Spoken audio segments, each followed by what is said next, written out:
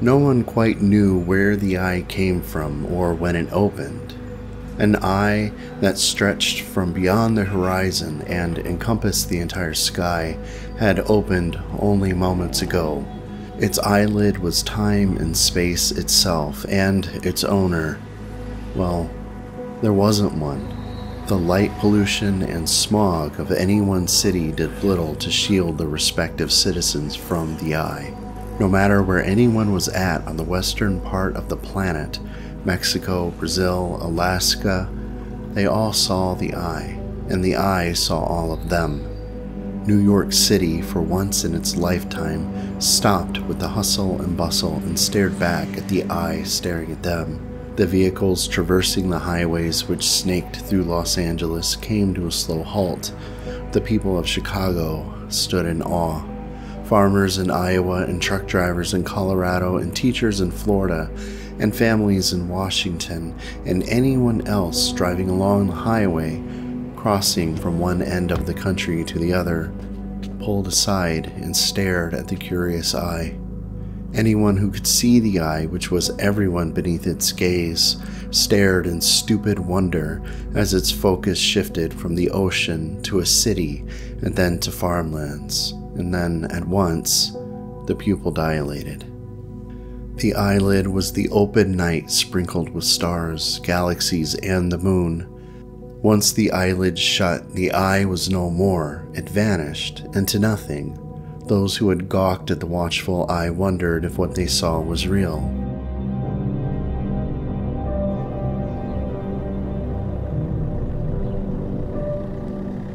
Charles Thomas, father of three and widowed, stood at the edge of his deck. His home was tidy and just what he needed after the car accident, a tragic event which took his wife from him and two daughters. It's been 25 years and he still remembers it, all of it, everything. The memories haven't faded, but alcohol has dulled the edge of his pain. He shook off the nightmare and stood, waiting for the eye to return. His phone rang and he answered it. A soft feminine voice came through on the other side. It was his daughter, Lauren, and her tone carried an air of uncertainty and fear. She said, Dad, we were just lying on the beach in the Bahamas and we saw a massive eye that blocked out the sun. It took up the entire horizon. Then we were in the darkness. It, it was like it was night. It was there for about five seconds and then it disappeared. Dad. Charles walked inside. Two helicopters flew overhead and shook his home. As the picture frame he stood at shook, he said, Yeah, I, I wish I didn't live near an army base. There are already two choppers up in the air, and they're probably going to scramble a few more fighters. I'm, I'm heading inside. He walked through his kitchen and into his living room. Sitting above his fireplace were pictures of his late wife and two children. His youngest daughter, Lauren, was now 34. His middle child, Sarah, would have turned 38 this year, and his oldest, Bethany, would have been 40. His wife, Belle, she'd be 62. A drunken fool ran a red light and T-boned the right side of Charles's car. Unfortunately, internal bleeding resulted in the death of Sarah, and blunt impact killed Bethany and Belle as they were on the side of the wayward vehicle. The drunkard wasn't wearing a seatbelt and became crimson paste against his windshield. One can suppose that him not wearing his seatbelt was a good thing because now he will never be able to drink and drive again. Charles shook the flashback out of his head and studied Belle's face, her eyes, her smile. This photo, consisting of himself, his wife, and three daughters, once gave him peace. Now, it serves as a reminder that half of those people, his wife and two daughters, are bones in the earth and dead as stone. Lauren cleared her throat and brought her father's attention back to the conversation they were in. Charles looked into the loving eyes of his wife and whispered, Lauren, try and fly back as soon as you can. I have a bad feeling about all of this.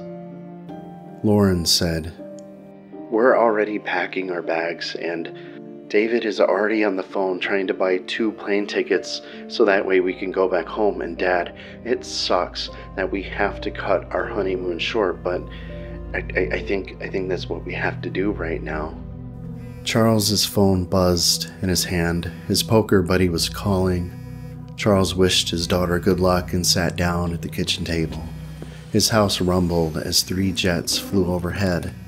He took the call, and his buddy indicated he saw the eye. Of course, he saw it. Half the world saw it. His phone vibrated again. Another poker buddy was calling, and then another. As he sat at the table, the screech of tires against asphalt reverberated through his home. Charles poured himself a shot of whiskey and sucked down the burning liquid. He clenched his jaw and then took another shot as he looked out his living room window. Four military APCs drove down the street, followed by seven Humvees. They pulled off the road and drove into the vast expanse of desert, leaving behind a shallow plume of dust. Charles nodded and took another shot of whiskey. Once the edge of the situation had dulled and the whiskey made him just a little less worried, he turned on the television and changed the channel to Station 4 News. The old tube illuminated to life, and two news anchors from Channel 4 News, Paradise, Nevada, were reporting on the enormous eye. Alexis, a thin woman with auburn hair tied into a tight bun, clasped her hands together as she said with a taut smile, Well, someone's ex or mother in law is keeping an eye on someone, and a big eye at that. Her co anchor, Jason, a businessman type fellow, shook his head as he replied, Alexis, this just in. You're terrible with these jokes. Tonight, at around 6:42 p.m., a large eye was seen over the western hemisphere of the planet. People as far south as Chile saw it, as did people as far north as Alaska, although the people in Alaska only saw about a third of the eye. Alexis pressed her lips together and smirked as she said, You know what? It's probably the Russians. They do everything these days. It's all a hoax, all of it. Jason sighed and buried his face into his palm as he said, Government officials have released a statement and indicated they do not know the origins of the eye or if it will return. The government believes that this may be an elaborate prank utilizing holographic technology. Alexis said, Now who has the terrible jokes? A hoax? Really? Really? A hoax? Come on. Remember that bum outside the station, you know, Sloppy Joe? Well, he was saying that Naz'ri-Dyn was coming. This spooky cosmic god is going to eat the planet like a smoothie. A smoothie, people. Do you think this has anything to do with those people washing up in the desert?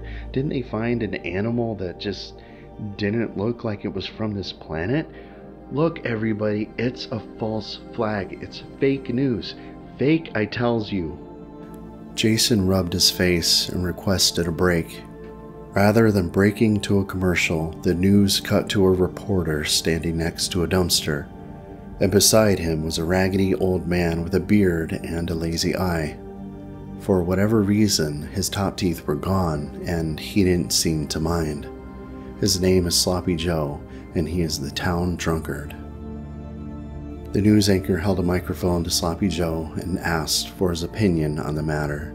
Sloppy Joe said, Man, I found the best shrooms last night, and so it seemed natural to me to be behind McDonald's dumpster on Rainbow and Woodbury tripping balls, and something was whispering to me.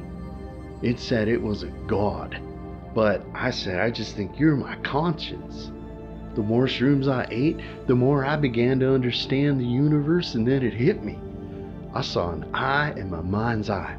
Its name is Naz'ri-Dyn, and it's going to slurp up this planet like a 7 Eleven Slurpee. The reporter said, Is there anything else it told you? Sloppy Joe wiped his nose on his shirt and said, Well, now that I think about it, It either said its name's Naz'ri-Dyn or that it's nuts rich, and I don't know. It also said, hey, you're good, whatever that means. The reporter asked, Are you playing a part in this elaborate hoax? You mentioned it said it was a god. What kind of god? Sloppy Joe threw his hands into the air as he said, A hungry god, duh. We're all about to die. I gotta go get me some more shrooms because there ain't no getting out of this pickle. Sloppy Joe walked out of view to never be seen again. Charles smiled for a moment. As he stood up, he said, Someone should give that man a radio show. Paradise, Nevada's own Sloppy Joe. His phone buzzed in his pocket and he removed it. A text had been received from Lauren and it read Our flight leaves in an hour. The only direct flight I could get is a flight to Las Vegas. I know it's a three hour drive from there to where you live in Paradise. Could you please uh, meet me there, please? David is worried about his mom being bedridden and all, and uh, not to mention her glaucoma. He thinks that the nurses aren't going to show up because of the eye. Because of that, he's going to fly back to Colorado for a few days. Dad, everyone is starting to panic. Charles responded, Yeah. I just I just took 3 shots of whiskey, so let me slam an energy drink and and then I'll be on the road. A lot of military people are moving around. And so hopefully they they won't make traveling too hard. Lauren responded, Dad, you better not drink an energy drink. You know you have a heart condition. Like, seriously, just wait an hour before leaving, as it, will be a five to six hour flight. There's no rush. Okay, let the buzz wear off. But anyway, I have to get going. I love you, and I, I hope to see you soon. Charles placed his car keys on the table and looked outside. He noticed a man dressed in black fatigues pacing up and down the street. Charles approached the window and studied him. Black boots, helmet, rifle, a soldier. Charles thought, okay, they are probably keeping people in their homes. He has a gun and he is probably authorized to use it. How the hell can I get out of here? He thought about his vehicles. An old pickup truck, which should have died 15 years ago, still ran as though it were new. His talent for fixing up vehicles and keeping them running was evident in the condition of his truck. Though it was a 1995 Ford Ranger with more than 200,000 miles on it, it still purred he rebuilt the engine once, replaced the transmission, and repaired a blown head gasket, and managed to keep even the slightest speck of rust off the truck. The electric car his daughter bought him, well, it hasn't moved in two years, and rust is already licking up the side of the door. This Ranger meant something else to him. For reasons he couldn't explain, it reminded him of what he lost and though the truck should have been retired more than a decade ago, it keeps running and he fixes whatever needs to be fixed.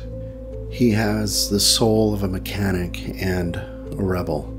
Charles realized what he had to do to escape peel out and just keep driving.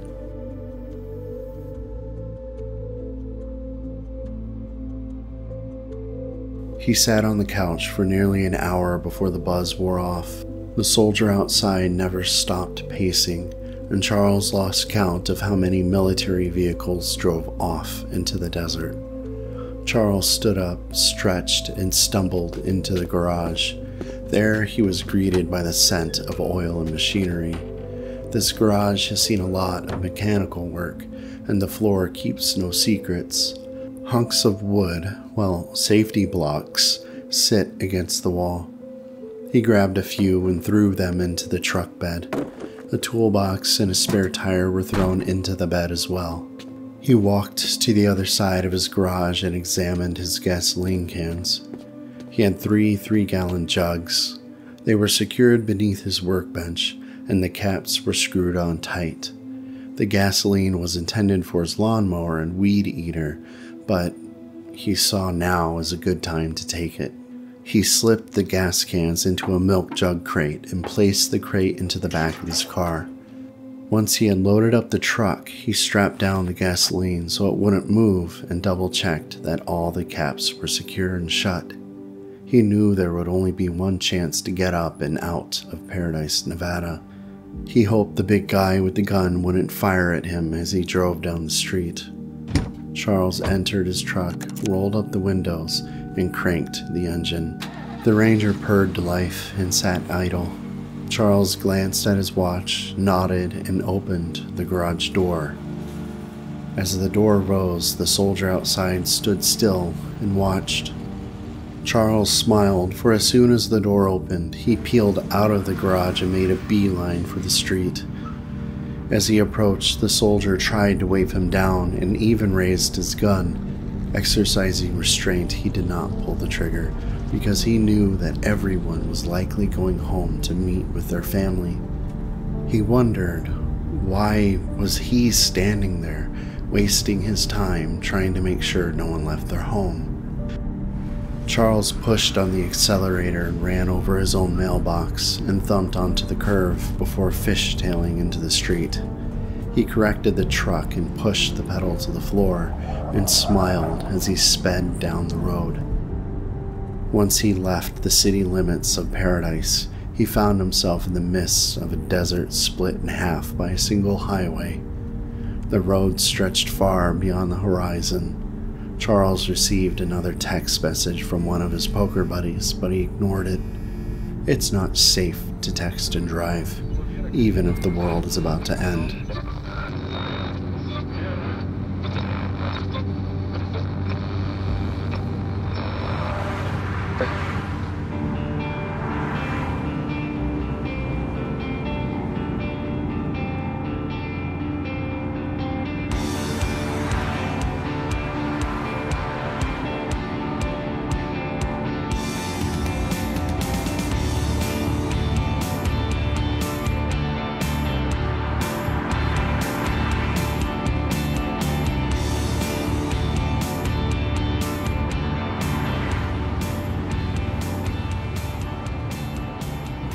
Shrank as the distance between him and his home grew. Charles gazed down the long stretch of highway, and there he saw the empty space before him peel open. The eye returned. Stars, galaxies, and the night sky concealed the top and bottom of the eye as though it were an eyelid. Tucked behind this lid made of space and time, the enormous eye glared upon Charles. His hands tightened against the wheel as his heart raced. The eye remained fixed on him as he took his foot off the gas pedal and allowed the truck to roll to a complete stop. His fingertips tingled as his palms began to sweat. He wasn't sure if he should proceed forward or turn back. The truck rolled to a complete stop as Charles studied the eye. He stepped out and walked about 10 feet forward. The pupil did not resemble a human's pupil. It was similar to a cat or a lizard.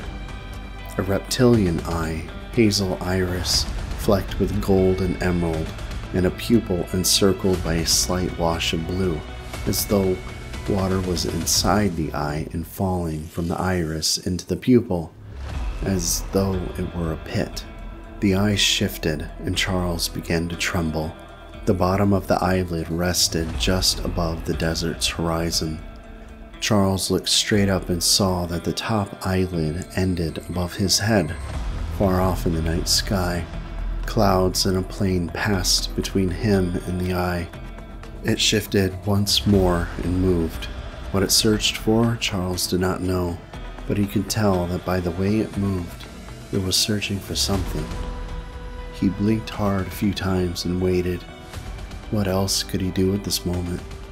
Stars, galaxies, and the night sky didn't seem to be affected by the eye's movement and remained fixed in place, much like a bead of black oil moving through water.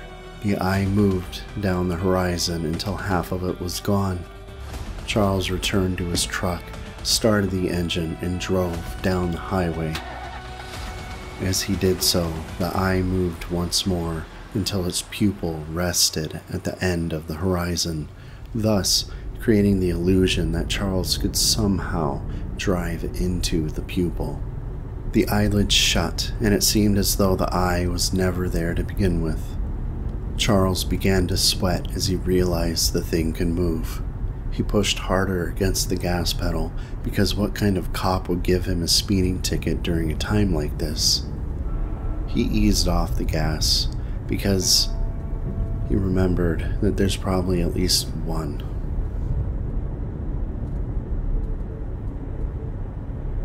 Charles had driven for about an hour before he pulled over and topped off his truck. The gas station he stopped at was old and still had the short pumps built into the ground, and they dinged with every gallon he took. Try as hard as he might to keep his Ranger running smoothly, he knew that the old girl guzzled gas faster than he could down a bottle of Jack on a lonely night. As the truck filled, he double checked his gas cans and the objects inside. It took a minute for him to realize the gas station was without a single employee, and he knew why. He entered the gas station, a drabbled place trapped in the 80s, and picked up a few bags of chips, sodas, and beef jerky for the drive to Vegas. The hot dog rollers still rolled, and the slushy machine still spun. The unnerving silence made Charles's stomach drop as he stood still. Even the cash register was unlocked, but Charles didn't pay any attention to that. He may be a drunk, but he's not a thief. A payphone next to an ATM caught his attention. He approached it and then proceeded to lift the receiver. Busy tone, and then silence. For reasons unknown, the phone did not work. He double checked his items to make sure he had enough to last a three hour drive, and then shrugged a $20 bill into the register. A smirk crossed his face because he knew that money was useless at this point and doubted that this alien creature, or god, or whatever it was, didn't traverse the ocean of space to just stare at them. Any intelligent being can do that with cameras. After the snacks and drinks had been collected, and the most important thing of all, booze, were secured, he cranked his truck and sat idle at the gas pump. He felt like the eye belonged in a drunkard's dream. He shuddered as he thought about the eye and what it wants. Surely nothing would cross the cosmos to do something good. No, he figured alien beings would be just as self serving as humans. If a creature came here from another dimension, it would likely do so for reasons that humans don't agree with. He returned to the highway and drove for 40 minutes toward Las Vegas. As he traveled in the black of night, the folds of the sky opened once more and revealed the eye. It was in a different position than before, but just as big.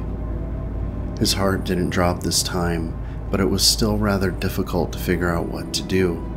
He could tell that the eye was closer to Earth than the moon was, but was far enough away to appear behind the veil of the atmosphere. Though it was dark, Charles figured his guess was right.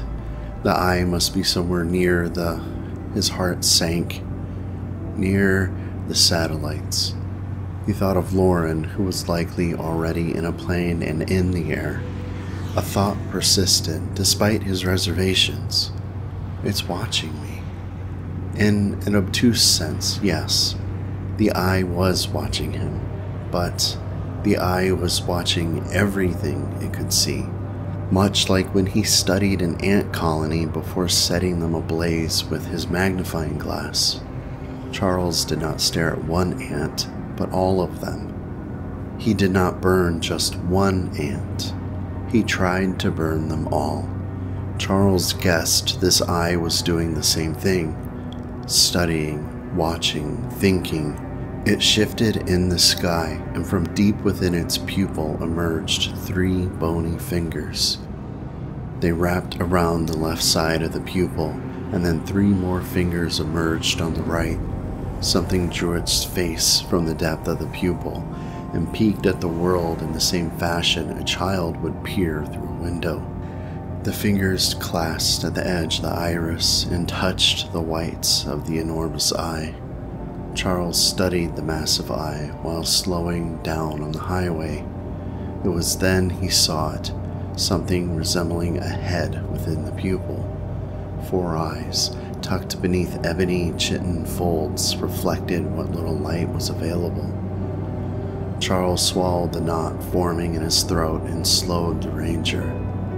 The head and fingers of the creature retreated into the pupil, and then time and space itself froze as the eyelid closed. Once again, the eye vanished into nothingness. Charles felt himself freeze in time as ribbons of clouds stopped rolling and dust froze in the air. All he could see at the very bottom of his field of vision was that the speedometer on his truck read 38 miles per hour. Yet he didn't move. The eye, he knew the eye, and what he saw had something to do with the frozen moment in which he found himself. Folds of space split open and revealed the veiny bottom of the eyeball. It rolled upwards until its iris and pupil arose over the horizon. Time resumed, and Charles felt his body quake as the passage of time returned to normal. He skidded off the road and careened into a cactus over a few small boulders and then a large one. Charles turned the wheel, but his attempts were in vain. The ranger bumped and bounced over too many cacti and small boulders until Charles collected his composure and steered the ranger back onto the road. But now he heard something knocking near the back of his truck. Clunk, clunk, clunk. He bit his lip because he knew what that knocking meant. Something damaged the transmission, likely a boulder. Though he felt the need to check on his vehicle, he knew that if the transmission were broken, there'd be nothing he could do, and the truck would eventually die. Charles progressed toward the massive eye, and as he stared at it, it stared at him. A single black tendril slithered and spiraled out of the eye's pupil. It crashed into the earth about 20 miles away from where he was. He jolted in his seat, and the shockwave of the impact pushed against him. Another tendril, black as pitch and as wide as a building, erupted from the pupil, but this one impaled the earth less than a mile from where he was. A plume of dirt and debris erupted from the point of impact as the black stalk pierced the planet. Another tendril emerged, and then another, and another, and soon there were more tendrils than he could count. Charles continued to travel onward, toward the eye, and by now he knew he was halfway to Las Vegas. Unfortunately, the Ranger began to sputter. It jumped as he tried to drive faster until at last it accelerated no more. Once the Ranger rolled to a complete stop, he left the truck and looked up at the eye. The whites had become bloodshot, and now the eye looked infected. From the pupil of the hideous eye were countless tendrils gouging the planet. They began to glow a soft orange, and the air around him felt hotter than it usually did. Charles gave this thought no heed as he gazed up at the sky. Military crafts buzzed around, black stalks which fed into the pupil. He prayed for his daughter's safety and opened his bottle of Jack. Small segments of bright orange flowed up the stalks and into the pupil. Charles closed his eyes and imagined this was all just a nightmare.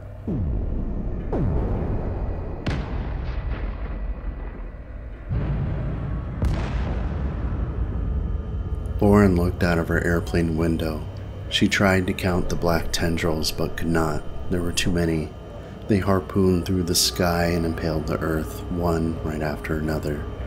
They seemed to come without end, and Lauren wondered how they were going to survive this plane flight. She grabbed David's hand and questioned whether they would have been better off in the Bahamas, but decided against it. The eye was visible down there, and it's likely that these tendrils were puncturing anything the eye could see.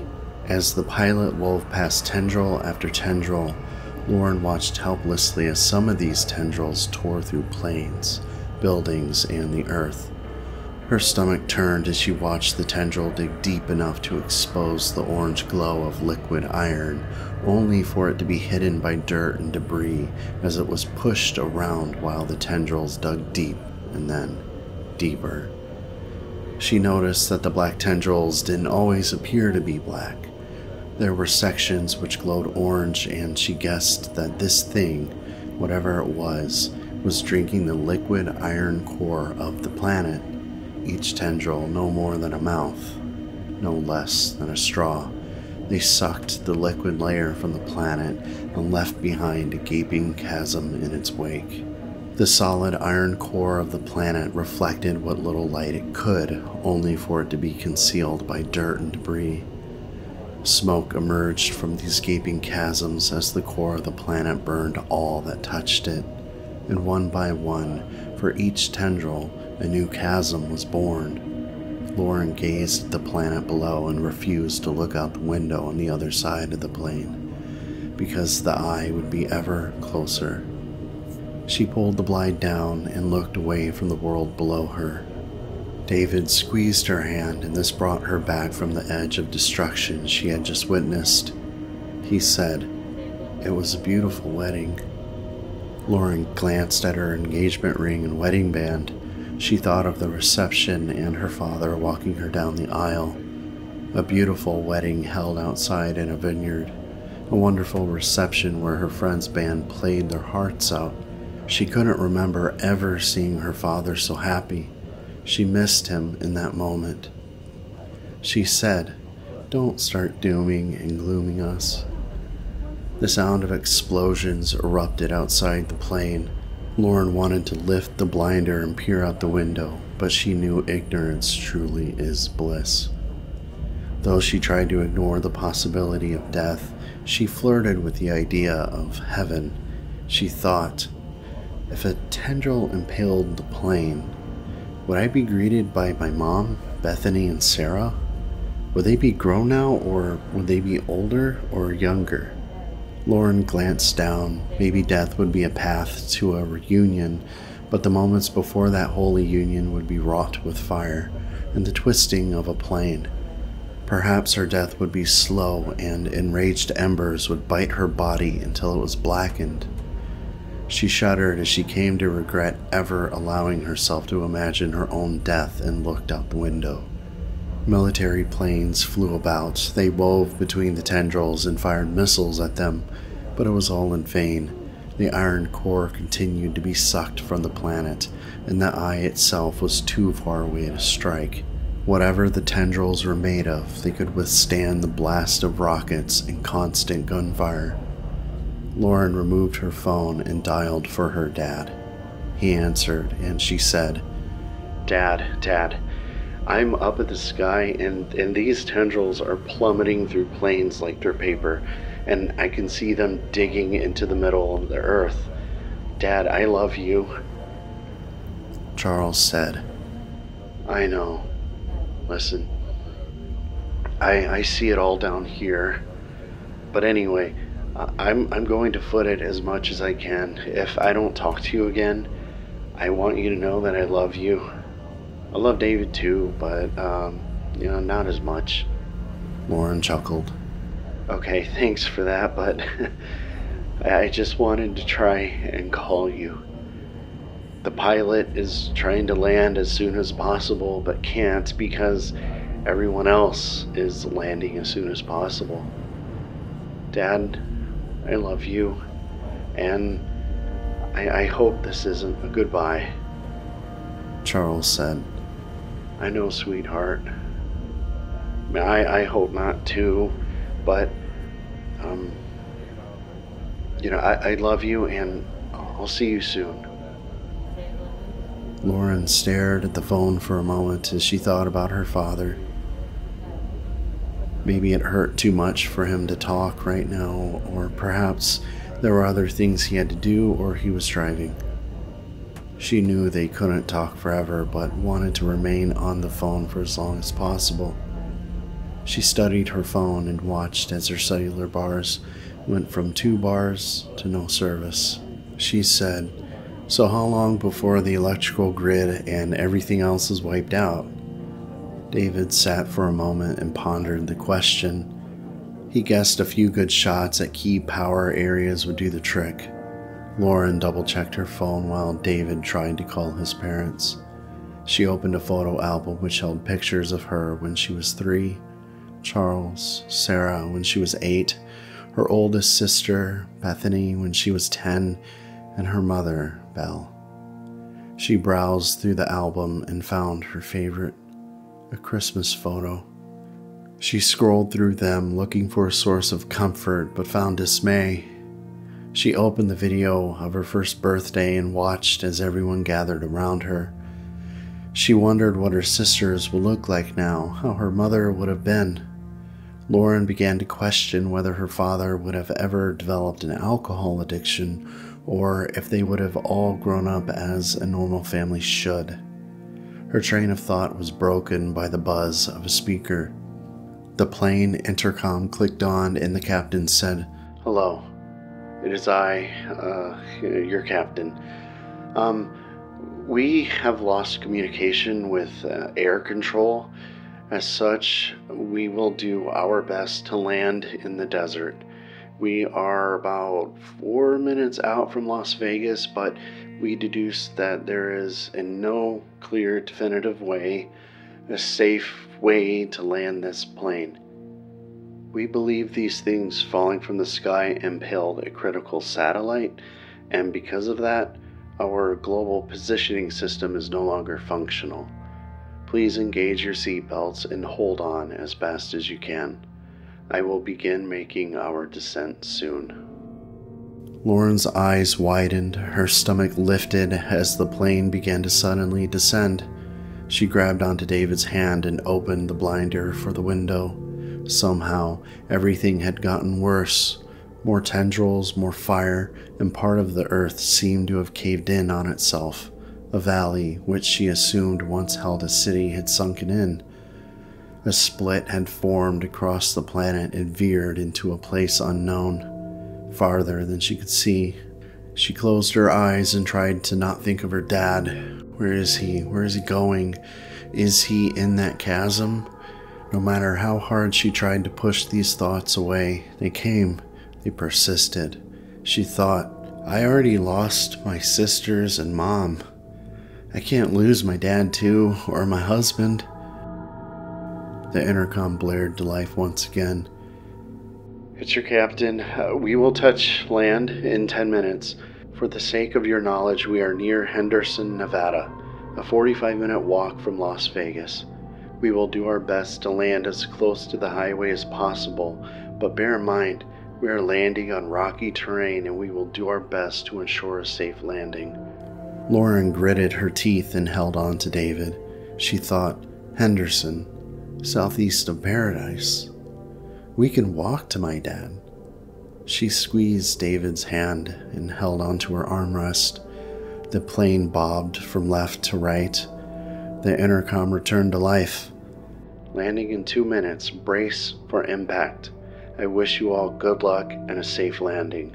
As the plane teetered from side to side, Lauren felt vomit emerge in the back of her throat as her stomach turned. She squeezed David's hand tight as the plane touched the ground. She closed her eyes and heard a snap, and all at once the plane jerked forward and then back, forward, and then back. Someone began to scream as children began to cry.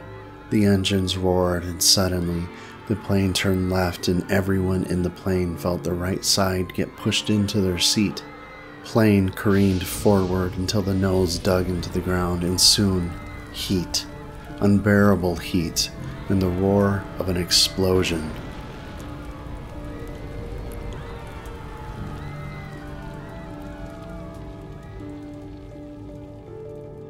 Charles had abandoned his truck and began walking down I 215.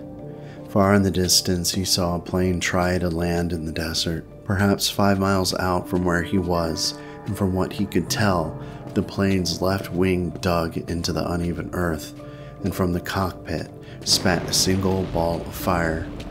He hoped that his daughter wasn't on that plane, but knew that she'd be lucky to land anywhere no matter where she was. As he walked down the highway, he turned his sight toward the gargantuan eye. Tens of thousands of tendrils punctured the earth and fed right into its pupil. The blood vessels had swollen and glowed orange. The whites had now become yellow, and the iris resembled a color mixed with crimson and orange fire. Though the eye did not move, blink, or shift, it remained frozen in a blank stare as more tendrils spiraled out of its pupil and gouged the earth. They moved like hagfish hunting a carcass and bore into the planet. A vast pit formed in the wake of the tendrils' destruction. Chasms left behind in the place of consumed iron had formed into entire valleys, as the liquid iron core of the planet was drained, there was little to hold up the planet's mantle or crust. Charles felt the world beneath his feet shift. The highway split here and there, and some parts lifted, only to recede a moment later. He pressed on, and the air surrounding him had become hot. Sweat formed on his back and created a thin film against his forehead. As he walked, he surmised that the cause of this heat was due to the eye drinking the liquid iron core and the exposure of the solid core. Earthquakes near and far shook the ground in which he walked. In his right hand was a bottle of Jack Daniels, and he sipped from it every so often. It burned as it passed down his throat, and this reminded him that everything he bore witness to was real. The world was collapsing. The enormous eye, the simple fact that the military was using every ounce of its might to dissuade this thing to no avail. What was there to care for in such extreme times? Just one thing. He thought of his daughter and knew that if he could get to her, his death might not be so bad.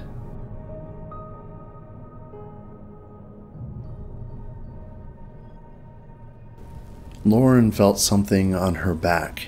It burned, throbbed. It wouldn't go away. The air felt hot, and she heard someone moving about. There were two women shoveling people out of the airplane. She laid beside a group of three people. Her right forearm had been broken, and a cut was across her right cheek. She rolled over and looked at the airplane, if only to find her husband. Heat emanated from the crumbled remains of the aircraft as a sudden burst of fire billowed from the windows. People scattered away from the airplane and screamed as fire brushed against them. David, she couldn't find him.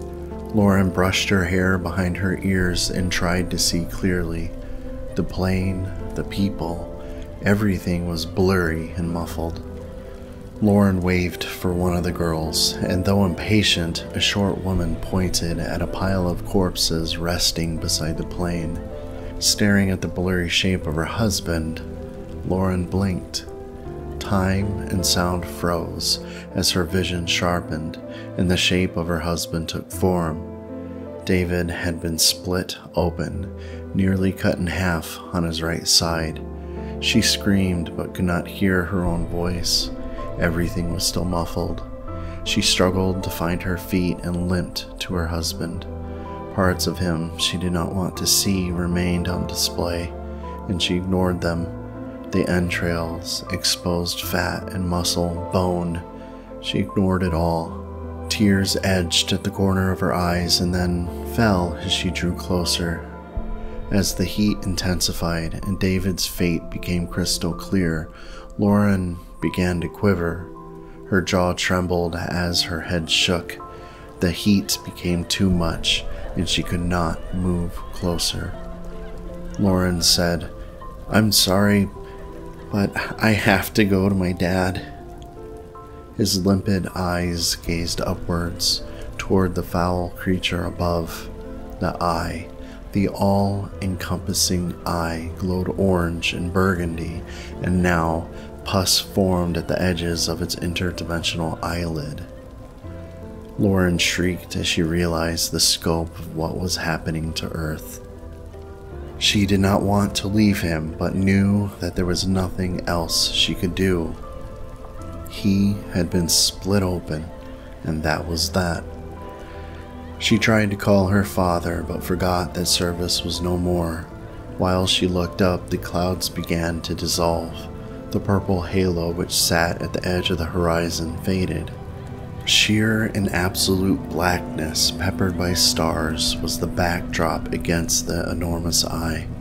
The once beautiful purple and blue horizon vanished with the last bit of clouds. She knew what this meant.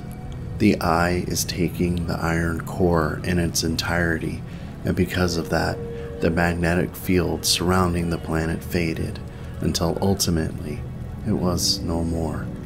She knew what this meant. Soon everyone and everything will perish.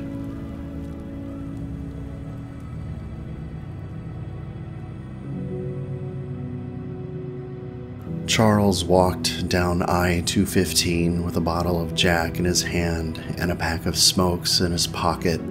He hadn't tasted tobacco since the passing of his wife because she found the taste of it appalling. In honor of her, he put his last pack in the glove box of his Ranger the day after her funeral, and there they remained until now. The whiskey kept the edge off, and he didn't mind too much about the world around him only Lauren. The risk of lung cancer was a moot point now that a giant eyeball was eating the core of the planet. Charles took a drag and coughed a bit. The good old sensation of sucking down a lung full of smoke had been lost to time, but that didn't matter. He knew his daughter was out there, somewhere, perhaps in the plane wreckage ahead of him, but he wasn't sure. The idea that she could be a charred corpse or mangled or in pieces caused him to slow his steps. He felt that too much had already been lost in his life and could tell from the monstrosity before him that all he had to do was wait just a little bit longer, and then it would be his time to die, along with everyone else on the planet. Charles smirked as he thought about the idea of everyone perishing at once. He looked around, and the tendrils, which were innumerable at this point, reminded him of a forest. A forest made of black trees, and those trees stretched into the pupil of the all seeing eye, pulsating and wiggling about like sea lamprey. The tendrils did not so much as flinch as the military shot them, bombed them, and tried to destroy them. Charles took a few steps and smirked because he knew he was the only person on I 215, yet there were at least 8 billion people on the planet. Half of these people were staring into the same hideous eye he was, and the people on the other side of the planet may have no clue what's happening. He chuckled as he realized everyone is just as doomed as he was. The poor, millionaires, billionaires, Naz'ri-Dyn cared for no one and nothing. He imagined this is how he would feel if he watched an asteroid barrel toward Earth, or a second Black Death, or worse, maybe another interdimensional god would come down to Earth and slurp up the water, or eat the Earth's mantle, or perhaps there was one which fed solely on human skin. If this giant eye could exist in the way it does, why couldn't there be something more hideous? Perhaps more personal, and not so indifferent. In a sort of weird way, Charles felt he could relate to the eye. He said, You ain't no different from me when I was getting on with lunch at the gas station. Pick up a burger, a bag of chips, a soda, and eat it without even thinking about it, just hungry, not caring about nothing. Charles sucked down a puff of smoke and unzipped his pants. He said, Hope you like the taste of piss, because here you go, you fucker. He relieved himself on the side of the road and took another sip of whiskey. He marched onward toward the plane wreckage, closer to the eye, and felt he was in a drunken daydream. With a bottle of Jack in hand and a pack of smokes in his pocket, Charles wasn't about to let an interdimensional god ruin his buzz. He gave the eye the middle finger and walked toward the plane wreckage.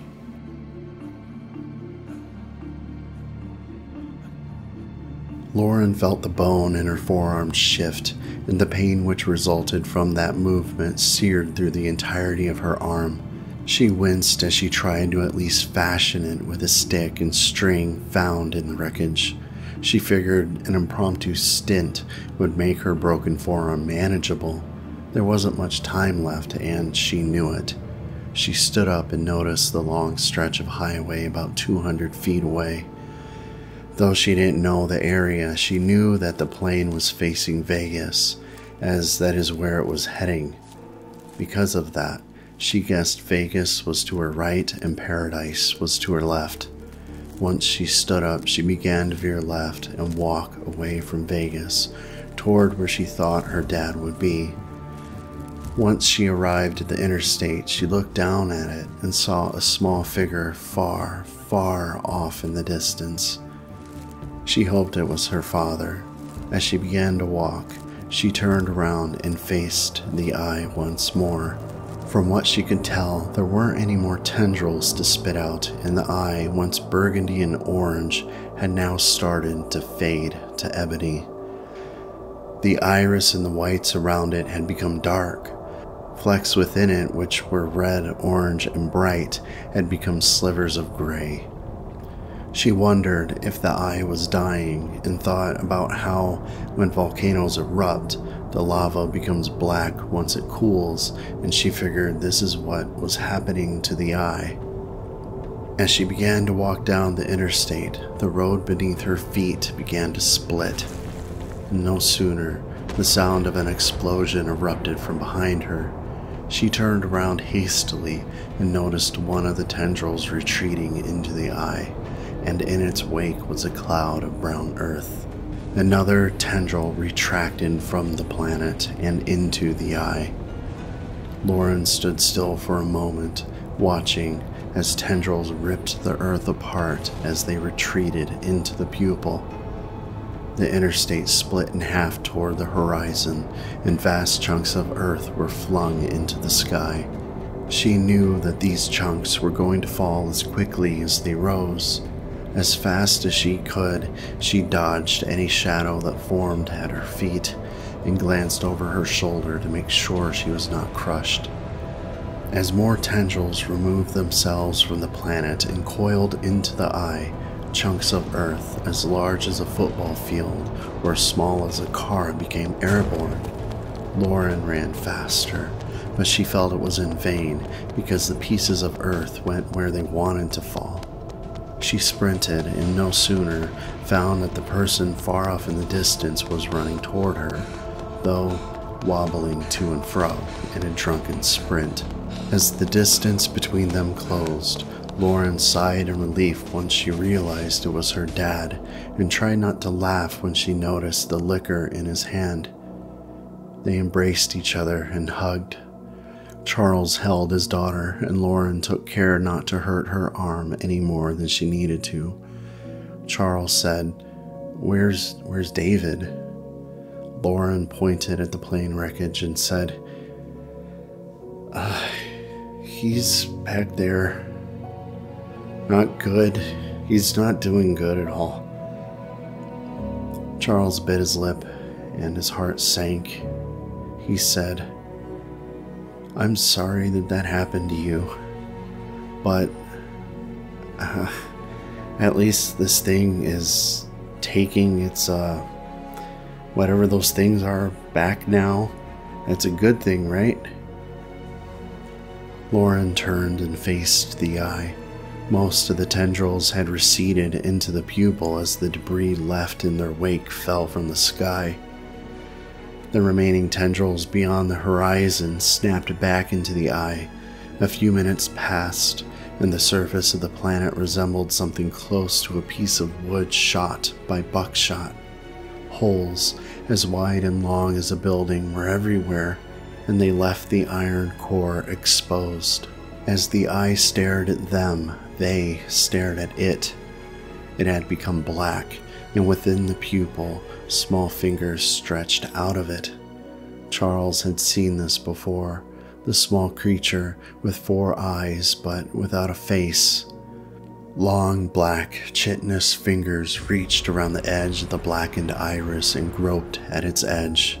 Eyes, four of them in black, and the flat head it was attached to emerged from the pupil. Its body was long and flat, similar to a centipede, and on each side of its body were long, spider like legs. It swam through the air and out of the pupil. The eye it came from didn't move or show any signs of life as the small creature departed from it. As it spiraled into the void of space, its body did not seem to have an end. Suddenly, it focused on a point of space and bit at it.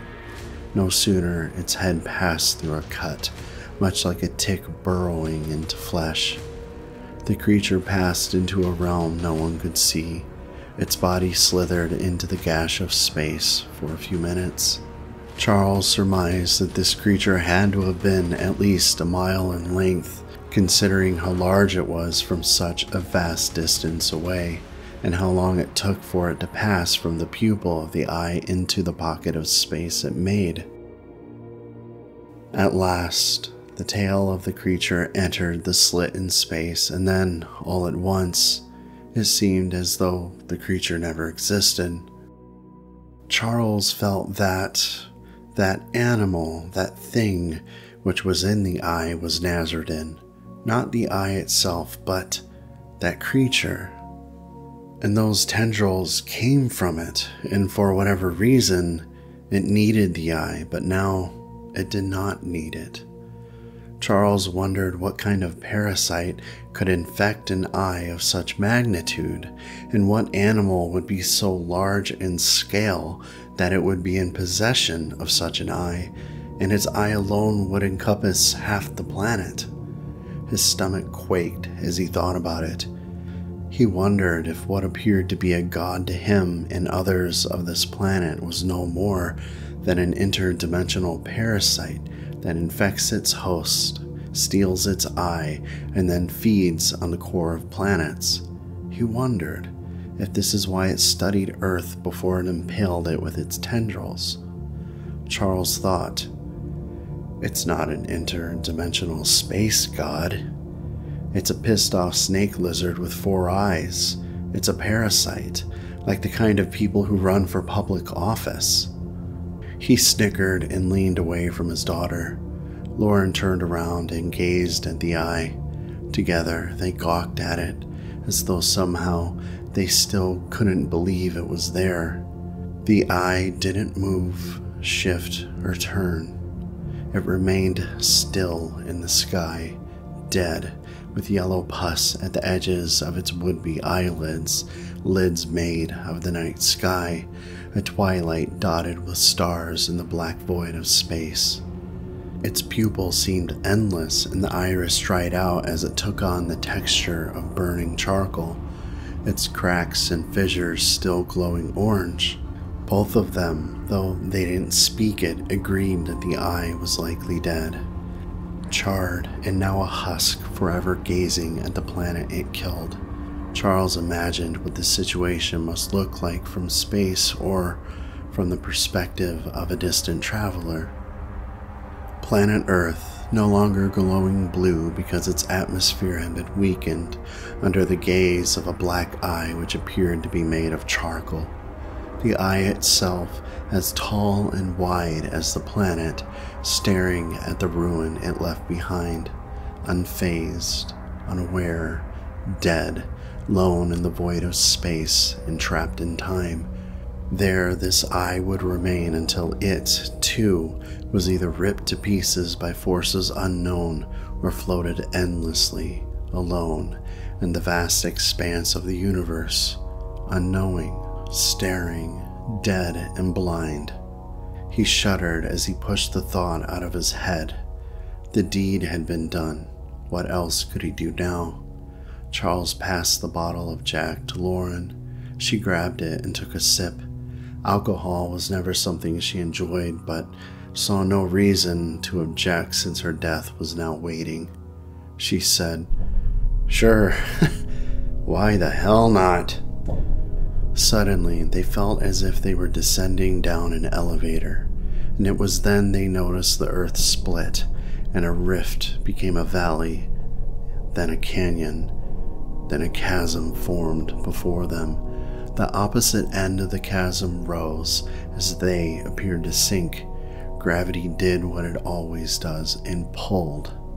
The earth itself, now without a liquid iron core, began to collapse inward upon itself, much like a millipede curling into a ball or a snake wrapping into a coil preparing to strike. The earth began to fold in on itself at its weakest point. Charles and Lauren stood in awe as the distant edge of the chasm rose 50 feet above them, then 100, 200, a thousand feet, and soon not even the eye could be seen, only the red hot mantle of the planet, still angry and dripping with red hot liquid iron. Together they stood before the yawning mouth of the planet, and at the edge of its throat was its solid iron core, wet with orange magma. Lauren realized the earth had split in two, and from where they were, they could see the empty space on the other side of the planet, just above the solid iron core. The stars and galaxies glittered no differently, and suddenly, the planet groaned, and they felt their feet lift from the grass. The earth they stood upon fell away from them. Since the liquid layer of the iron core had been consumed, the pull of gravity had weakened, and they slowly fell as the ground beneath them dropped 10 feet, then 20, then 50, and suddenly stopped. As they stood together on the cusp of the chasm, they noticed it became harder to breathe. Now that the magnetic field surrounding the planet was gone and the sun was stripping away the atmosphere, oxygen had started to escape the planet. Charles closed his eyes and reached for his daughter's hand. They both knew their demise was imminent. Charles said, I'm glad. He sucked in a deep breath of air glad the last days, last days of my life will be with, with you. Lauren nodded as she too found it difficult to breathe. As the other edge of the planet continued to rise, he noticed the split at the opposite end of them grow. Half of the planet was floating above the other half. The earth beneath their feet fell away from them once more, but this time it rolled forward. Charles took another sip of Jack as he slowly floated in the air and descended to the Earth's surface. As he stood in a drunken haze, he looked at the other half of the planet, dangling as though it were attached to invisible strings, suspended in space. He knew it was a matter of time before gravity did its thing and pulled it down upon them. He lit a cigarette, which was a hassle to do as the oxygen level had dropped significantly. He grabbed another cigarette and passed it to his daughter. Charles said, You know, I, I gave this eye the piss earlier. Lauren laughed. I, I, I don't, I don't know. She sucked in a deep breath. Don't, don't know if it's if it's oxygen deprivation or what, but that's hilarious. Whole world is going to end and you're trying she coughed trying to make the thing take the piss. oh gosh. The ground fell away from them again, and once they landed, they walked up I 215 as it seemed the earth was folding in and rolling into itself towards the eye. Charles said, How's that arm? Lauren turned her arm over and rubbed it. It hurt, but pain didn't matter at this point. Death was imminent. She said, oh, Been better. So, Dad,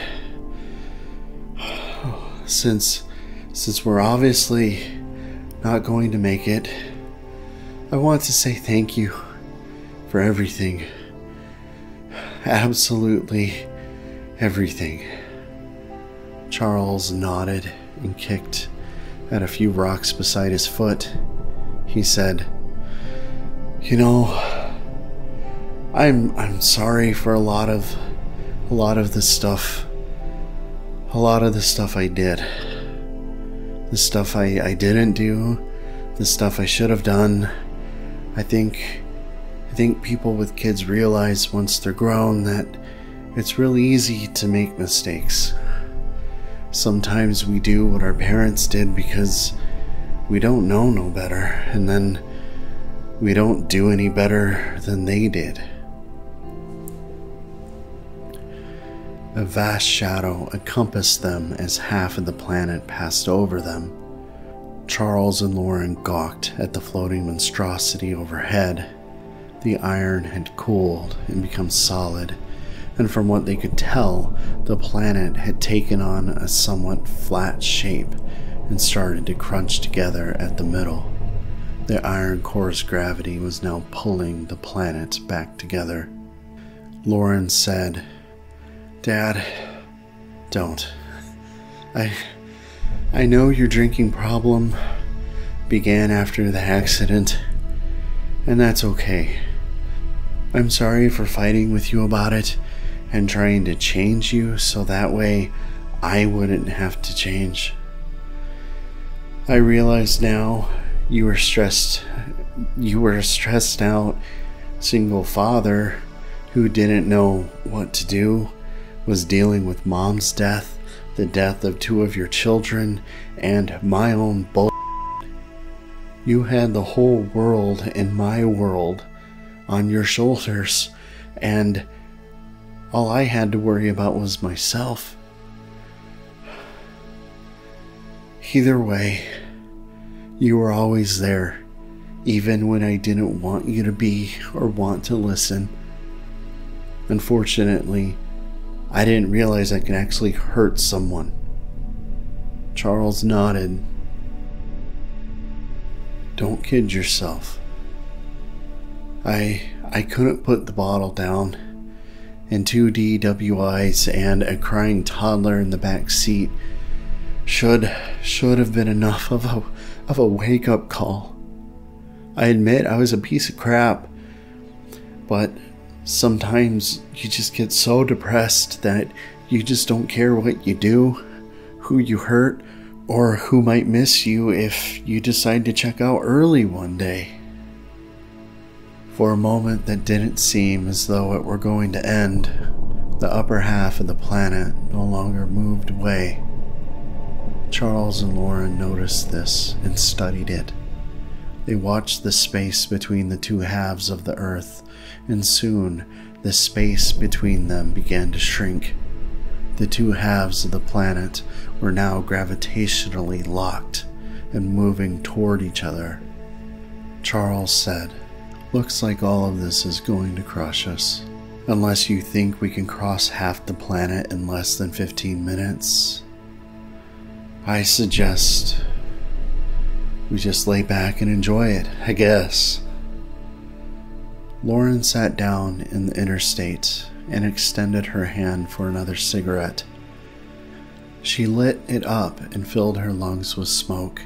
She said, I, I, ugh, ugh. How do you smoke these things? God, they're terrible. Charles laughed.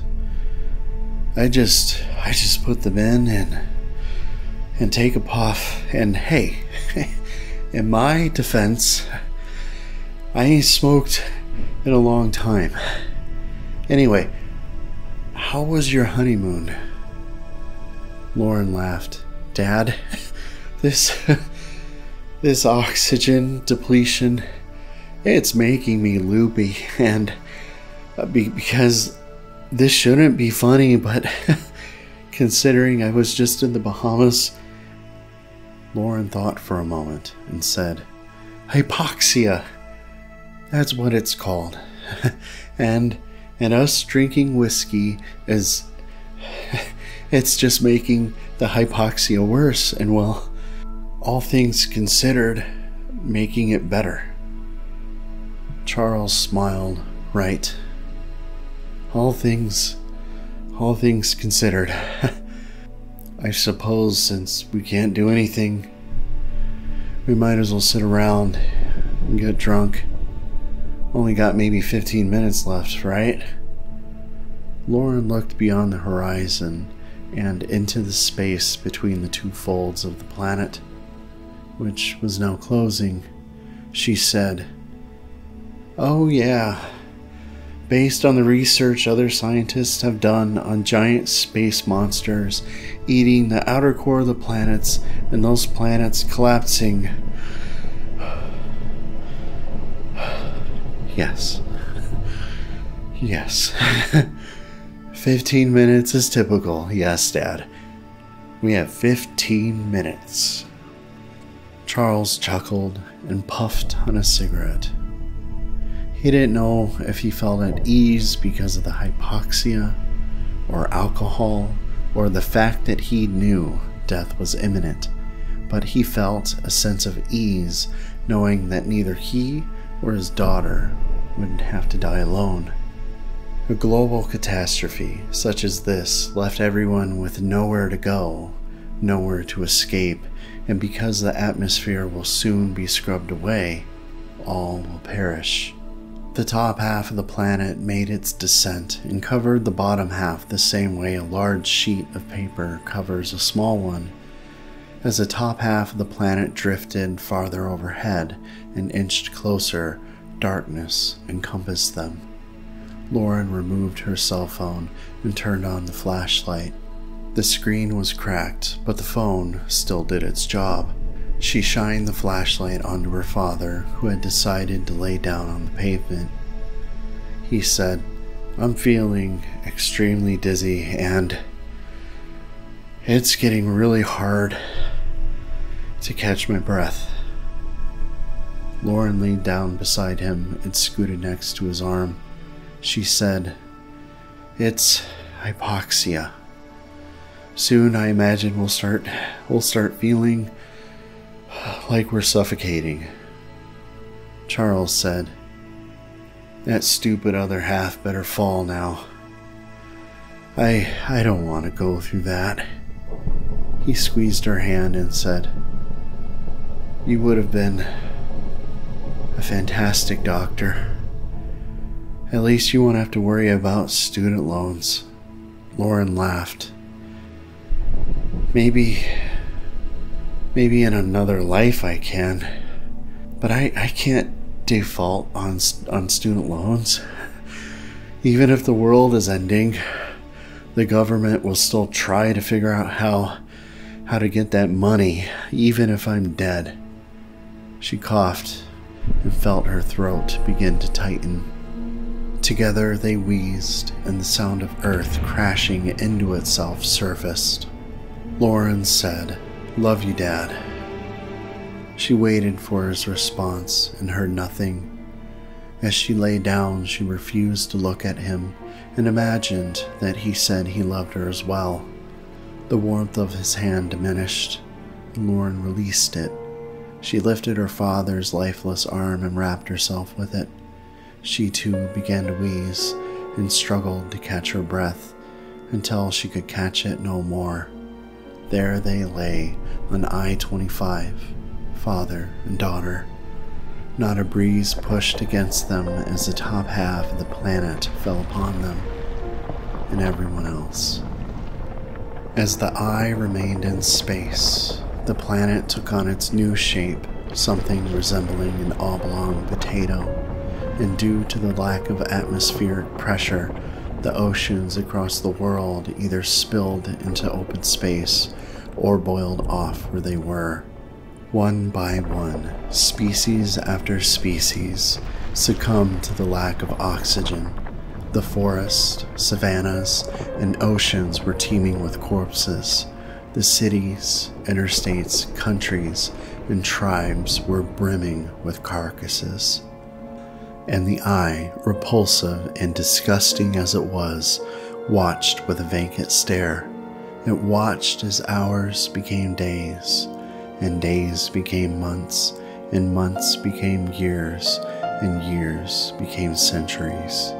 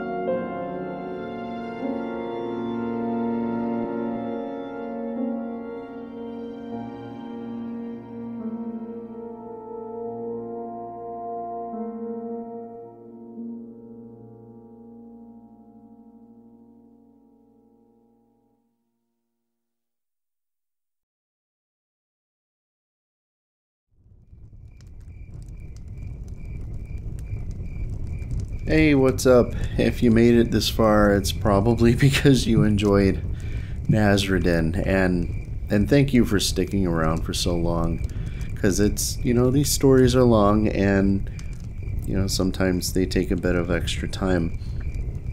But um, so this is the thoughts part of the video, where I talk about the origin of the story, and this time I'm recording the thoughts after the entire project is done because when I did the project before this one, the Church of Syn, I did the thoughts before I did the lost tapes. But this time, lost tapes are done, they're uploaded. Naz'ri-Dyn is done, it's uploaded with the exception of the YouTube video because this part is going to be included in that. But um, the way I've been doing things is I'll write the main story first and then I will write the lost tapes stories after that. So the goal with the lost tapes stories is I want them to be standalone stories, but I also want them to be optional prelude stories, which serve more as an enhancement to the original story. So you could watch Naz'ri-Dyn or the Church of Syn or any other uh, long, big video I do, and it's not necessary to watch the Lost Tapes episodes to understand what's going on in the story, while also create creating an experience where you can watch the Lost Tapes and it teases you for the story about to come. But when I was working on Naz'ri-Dyn's last tapes, uh, I didn't I was trying to construct a cohesive story spread across the six astrophysicists who were kind of responsible for bringing Naz'ri-Dyn to um, their universe. And I tried my best to do it. I'm not very confident in the the six stories that I wove. I like the Naz'ri-Dyn story, I do.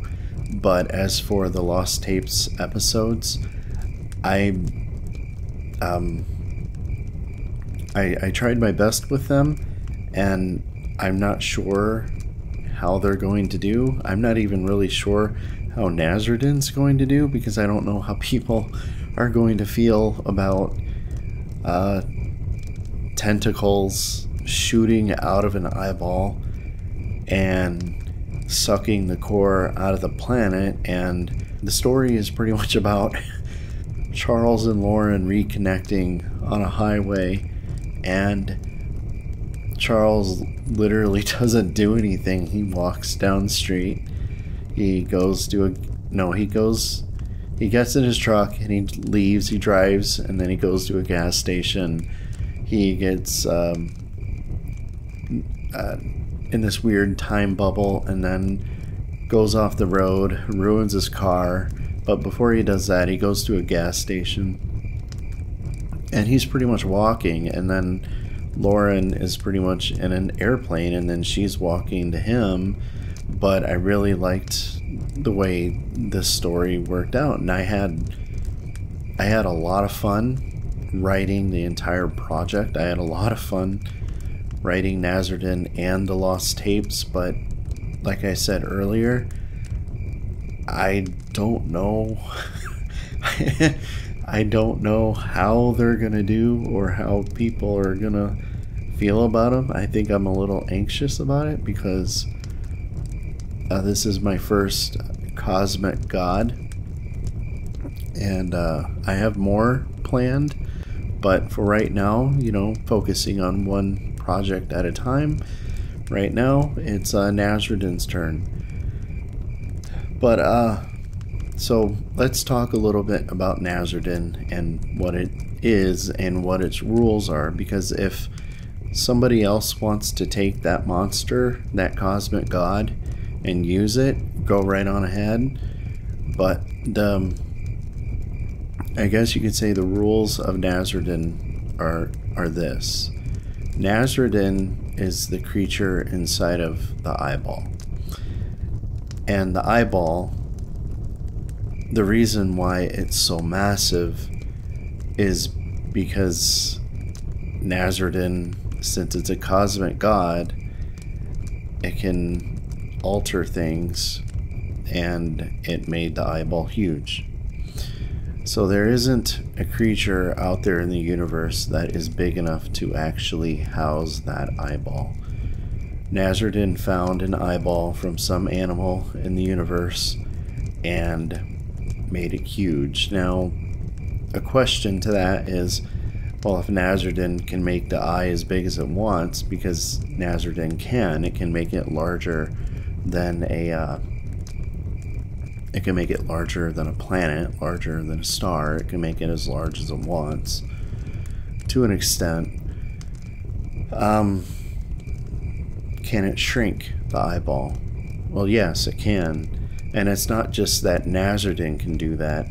Um, this species in which Naz'ri-Dyn comes from can do that. And so think of it as Naz'ri-Dyn as being the god of that species and looking out for that species.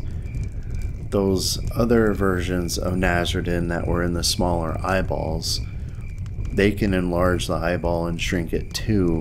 However, they uh, they can't go to the length Naz'ri-Dyn can. Naz'ri-Dyn is a cosmic god, so its limits is pretty much the physics of the universe. And so if it kept expanding the eyeball to get bigger and bigger, eventually gravity would take over and the eyeball would collapse in on itself. The science behind that, I don't know. Um, maybe somebody can figure it out, but Naz'ri-Dyn can enlarge the eyeball up to the limits of uh, physics. As for the Naz'ri-Dyn species, they come from a parallel I don't even know how to describe it, but they come from a parallel universe where they just observe. And so that's why they take eyeballs. But they're also considered parasites. And so I have this name sheet where um, Naz is the first part of the name. The second part of the name for Re means gluttonous, and then parasite means den. So think of it as Naz the gluttonous parasite. And that's what it's translated to. But its name is Naz'ri-Dyn. So what these cosmic entities do is Naz'ri-Dyn goes from planet to planet and it eats the iron core. And once it's ate the iron core, it has enough, I guess you could say, energy or whatever to feed its kind. and it needs iron cores from planets in order to survive. And so Naz'ri-Dyn, since it's a cosmic god, it's always getting pissed off because even though we can't see the parallel universes, those cosmic gods they can and they see them all the time. And so from Naz'ri-Dyn's perspective, when Naz'ri-Dyn came and wiped out that planet, it was for Naz'ri-Dyn, it was pretty much like, oh geez, another one. You know, I'll have to deal with another planet in five minutes. Because the eyeballs, they go wherever they want to, and they just want to observe. And obviously, when they show up places, sometimes they get attacked, sometimes they don't. If the eyeballs are left alone, Naz'ri-Dyn will leave the planet alone. And so it's pretty much like if you let the Naz'ri-Dyn things come and observe your planet, eventually they're going to leave and go away. They'll get bored, they'll move on to something else. And if you leave them alone, then Naz'ri-Dyn isn't going to come. But if you start hurting its kind, then it's just going to eat your planet for lunch. But as for Naz'ri-Dyn and all of that, that's as of right now, that's pretty much the rules of the Cosmic God. If anybody wants to use it, go right on ahead. Just give me a shout out, please, because I want to hear about these stories, you know. Um, let's talk about Will. Um, not William. I was thinking of the Church of Syn. Let's talk about Charles and Lauren. I wanted to create a story where um, father and daughter are trying to reconnect, but I don't think I established enough of uh, Charles's Charles's drunken history. And so I feel like in the story that was something that was lacking a little bit. You could understand that you could understand that he got into a car accident and his wife died and his two other daughters but um, there really isn't anything showing the struggles between Charles and Lauren. And so, if I were to ever expand this into a book, there would be a lot of time shared on those two and their conflict and their fighting and his alcoholism and how his alcoholism impacted his relationship with his daughter and him being able to parent properly. So that's the kind of um, relationship I wanted to capture. And now I wanted to go and talk about each lost tape. So let me pull that up on my computer. so the thing is with lost tapes, I'm trying to build anticipation toward what the main, the large video is going to be. And so when I write the stories, I write them in, I guess you call it an order, but it's really not an order because each story, they kind of feed off of each other, but at the same time, they really don't. They're their own standalone story. But for the sake of what I'm trying to accomplish here, the first story I wrote was David Patel's story. He was the guy who was responsible for making the little adjustments which brought the Nasreddin folk into their universe. And in this story, I don't know why, but I like David Patel the most. And I think that's because in the narrative of his story, he's got a troubled history and he didn't want a family because he was abused as a kid and he didn't want any of that. And it's unfortunate now because I've already written, recorded, and put the stories up there, but uh, the other five astrophysicists weren't developed out as as well. And so uh, let's move on to next the next one, which would be Emery Bates. I get Emery Bates and another story mixed up because it's either um, one of them goes to a parallel dimension and they lost a child or they gained a child. I can't. I get the two confused. But with Emery Bates, he crosses into a parallel universe, and I was trying to capture that when he goes into that universe, he uh, he finds out his son is alive, and in his home universe, his son had died. And I wish I would have spent more time going into that backstory, but the goal is for these stories to only be 2,000 words because then that will equate to about a 13 15 minute video.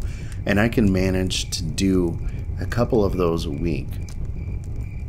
But with Emory Bates, I wanted to capture the essence of that. You know, you cross into a parallel universe where you're filling the shoes of somebody who died, but at the same time, you're coming from a universe where your kid died, and so it's this weird um, trade off, I guess you could say.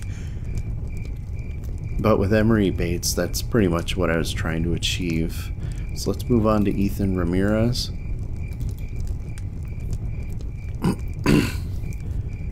so Ethan Ramirez, this is the guy I believe I get him confused with, him and Emery Bates. So with Ethan Ramirez, he crosses into the parallel universe and then he actually finds out his daughter is missing in this universe. And so he goes all over the place trying to find her and he ends up going through a portal to hopefully return to his uh, home universe. And so I wanted to capture that. Uh, next would be Marcus Taylor. Marcus Taylor was more about going into the realm of where the Naz'ri-Dyn people come from. And I don't know why I chose lavender, but I just chose lavender fields and it worked and it made some really cool pictures. But for the record, Naz'ri-Dyn's not a purple eyeball or a blue eyeball. I couldn't get a stable diffusion to make a regular eyeball. Um, the eyes that are appearing in this universe, they're just eyes that are blinking open, regular eyes. But when I saw what they look like in these pictures, I I think it would be I think it would be entirely cool if the eyes could take on different colors, not so much different shapes, but there could be blue eyes, purple eyes. There's no red eyes in the story or nothing like that, but um, the eyes could be different colors. So I think that would be a really cool thing that I never even really thought of. but as for Marcus, he ventures into the realm of Naz'ri-Dyn, and he's the first to actually see uh, that there's something inside of the pupil of these eyeballs. And so that I wanted to capture that, and I think I did that pretty well. Olivia Grace.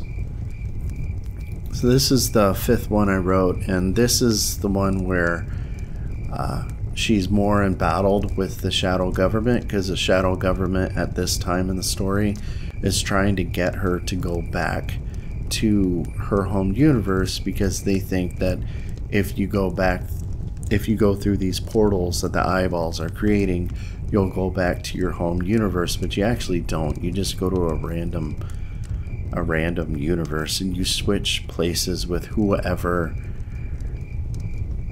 is in your spot in that universe and so imagine there's another version of you in universe 12 and you're here in universe 1, if you go to universe 12, you switch spots with the person who exists in universe 12. And so you go to 12, he come or she comes to universe 1. So you switch. and that's how that works.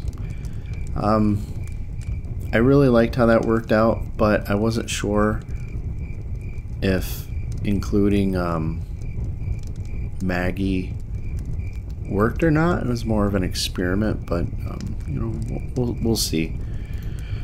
Uh, the last one was Sophia Meets. So so Sophia Meets was meant to be the bridge story, bridging uh, lost tapes with the main story of Naz'ri-Dyn. And so in this story, Uh, people have started to become really comfortable with the eyes. They've learned that the eyes are not going to hurt them. And since the eyes aren't going to hurt them, people get stupid. At first, they start pushing the eyeballs around, maybe punching, kicking the eyeballs, hitting it with a baseball bat. For some reason, the eyeballs don't show up on camera for them.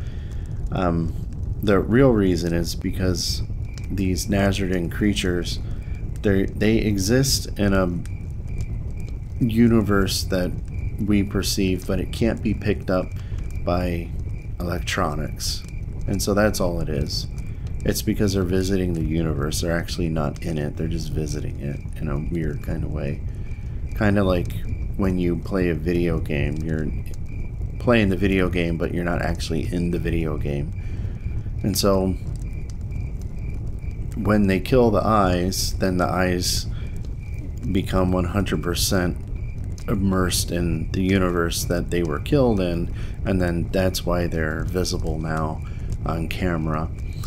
And so people they figure out, oh, well, if we kill them, we can take pictures of them, and so this causes people to go out and kill them. And some eyes they blink back to their home realm where Naz'ri-Dyn is at, and then obviously Naz'ri-Dyn can tell, you know, hey, where are you guys going? Okay, I see what's wrong with you guys. And this is the first one where you see, you don't see, but it's implied that Naz'ri-Dyn killed one of those cobalt wolves. And the reason those cobalt wolves exist is because they eat Naz'ri-Dyn. That, that's all it is. They eat Naz'ri-Dyn. They come from their own realm, but with regards to humans, they're just they're harmless. They're not going to do anything.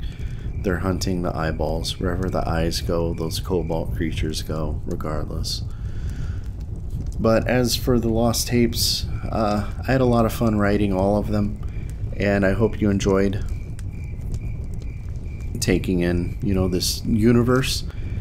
And if you could do me do me a, a solid, share this with one person you think would enjoy the story you know, mention the lost tapes. And if you haven't listened to the lost tapes yet, I'll have a playlist at the end of the video that you can click on and you can check it out. But um, since this is going up in June, I wanted to make it clear that since summer's going to be here, kids can be out of school, all that stuff, I'm not going to have the time to work on a big project so I will do smaller lost tapes, which will be similar to the two I uploaded at the beginning of uh, May. The vampire story and the uh, the other story, the ghost story, the ghost in the wall story. Um, so yeah. Again, thank you for hanging around, watching the video, and uh, that's the origin of Naz'ri-Dyn. I hope you liked it. And I also wanted to give a plug for myself. On my Patreon, all the pictures in, that I use in the videos, they're uploaded onto my Patreon. And Naz'ri-Dyn, I believe, has over 500 pictures. And the pictures are 1080p, so they could be desktop wallpapers. Since they were made with AI, I, I can't really claim ownership of them. So if somebody wants to take them and use them in other videos or whatever, that's cool. You can go ahead and, uh, or if you just want to download them, put them on your desktop or share them, that's cool. You can go ahead and do that. But um, I offer 25 free pictures, but to get access to the full 500, it's like, I don't know what it is, but it's, you know, I'm asking for support and trying to offer, you know, something for you. And also on my Patreon, I have downloadable files of all of my stories. So you can download the MP3s of these stories, put them on your phone, and you can listen to them without the internet. And I know YouTube runs ads, and at some point I'll run ads when I can get to it. But um, yeah, you can download all that stuff off of my Patreon. And, you know, it's a lot of cool stuff going on over there. So if you have the time, go ahead check it out. But again, thank you for watching my story and enjoying it, and I hope you share it with just one person. Peace out.